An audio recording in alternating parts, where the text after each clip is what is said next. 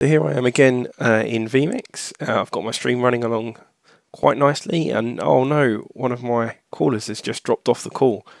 It's alright though because I'm prepared for this and I have a pip ready to move to. But the question is, is have I created one for every single possibility and every combination or is there a better way?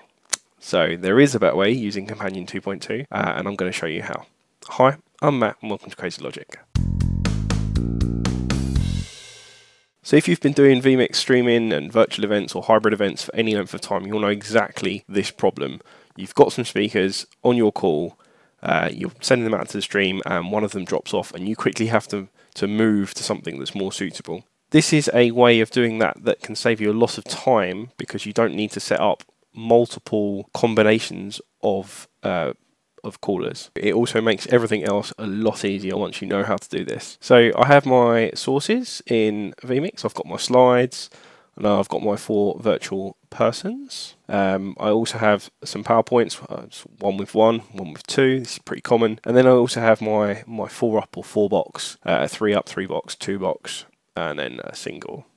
So this is a pretty common four remote person uh, virtual event where you may have any number of people on at any time and they may or may not jump on alongside their slides. Uh, you just don't know what's going to happen. So the really important thing here is in all of my pips, there's consistent layering. So in this, uh, I'm always using layers 1 to 4 for the remote persons, and then I'm using uh, layer 8 for the slides. So one, two for remote persons, and then layer eight for slides. Uh, it's important that that's consistent across all of your inputs.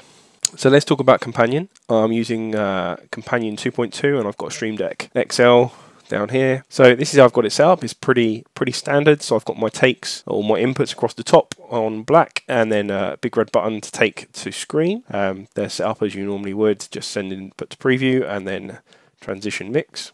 And then all of these purple ones are dynamic. These actions are actions that only exist in Companion 2.2 for the time being, uh, and the actions are a bit of a mouthful. Set destination input for routable multi-view layer, set destination layer for routable multi-view layer, and then set source input for routable multi-view layer. Um, and the way that this works is pretty simple. You select the input you want to work on, then you select the layer that you want, and then you select the input for that layer. So this is essentially doing the same as going into the settings, going into the multi-view layers, and then choosing what inputs you want on each layer.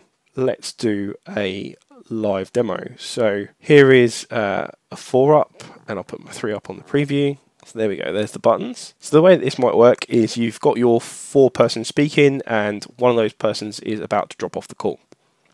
Now you don't know which one it's going to be. So I've already got a three up and in that I've got red, yellow and green. But let's assume that green has dropped off the call and I need red, yellow and blue. So I'm quickly going to call my 3 up to the preview. I'm going to select my 3 up to work on. I'm going to select my layer 3, which is currently Mr. Green. And then I'm going to choose my blue input. And then I'm going to take that to the stream.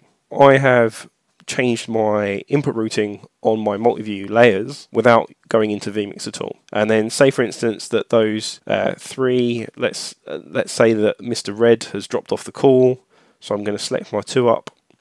I'm going to go select layer one, yellow, layer two, blue, and then take that to the screen. And then these two may want to go to a PowerPoint. So again, in my PowerPoint, I'm going to select my PowerPoint layer, or select my PowerPoint um, with the two up. I'm going to set my layer 1 to be yellow and layer 2 to be blue and then we can go to that. So I can quickly modify what's going where without going into vMix. I can do it all from these layer buttons I've got set up. So select the input that we want to work on, select the layer that we want to choose, and then select the input that we want to send to that layer. Uh, and that's pretty pretty simple. So you may notice I've got these question marks uh, here, these three question marks. The way that I have this set up is I've got my inputs I have named them up here. So I use names, I don't use numbers in my vMix. And then on 15, I've got this question mark. So if we go into, into here, if we go to the question mark, you will see in the action, the destination input is zero. And then for this one, the destination input is minus one. They relate to the inputs of the current preview and the current program. So if I choose the first question mark, this one here, that will then allow me to edit layer one on the preview. And if I was to choose this one here, which is the one that's set to minus one, and then choose layer one, that allows me to change the one that's on the current program. You don't necessarily have to have an input for every input that you want to use. You could use your buttons and then always have it set to to use the preview window and then edit directly on the preview window. Or you could do it on the program window using these these two buttons. You can also remove a layer. So say for instance we are we're on the 2 and we want to go to the 1 and let's say on the 1 we want to select layer 1 to be yellow. What we could do is we could go to our uh, program window, select our layer 2 and then remove it. So the way that this works is that we have the this button here is a set source input for routable multi-view layer and it's none with capital N.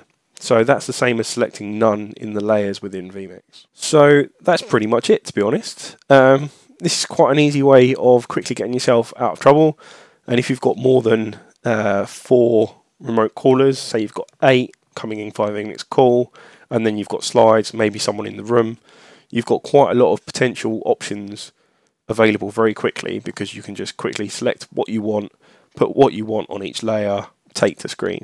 So it massively saves time if you have to edit these live.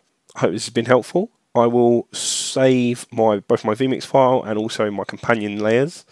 Um, so if you want to have a play with this, you can import it into vMix and companion and play around with it yourselves. So yeah, thanks for watching and I hope this has been useful.